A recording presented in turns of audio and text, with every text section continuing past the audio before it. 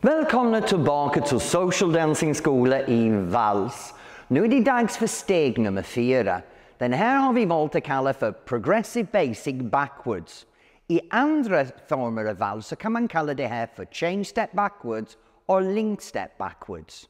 Vi kommer att vända om så det är enklare för dig att härma oss och vi kommer också att flytta oss lite längre ifrån kameran för vi kommer att röra oss baklänges. Så tipset är att se till när du övar, du har plats att flytta dig baklänges hemma i vardagsrummet. Vi börjar bakåt med vår vänster fot.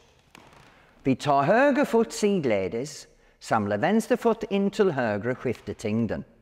Vi tar höger fot baklänges, tar vänster fot sidledes, Samla höger fot in till vänster och skifta tyngden.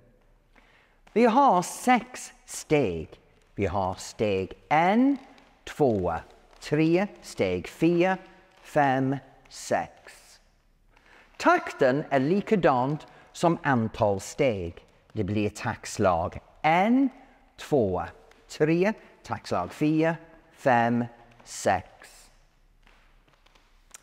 När vi gör det här tillsammans så har vi fyra kontaktpunkter.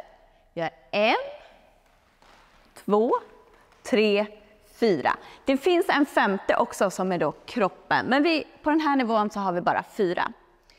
Då när föraren går bakåt så kommer följaren att gå framåt. Och en, två, tre, fyra, fem, sex. Vi vänder om så ni kan se det här från en sidperspektiv.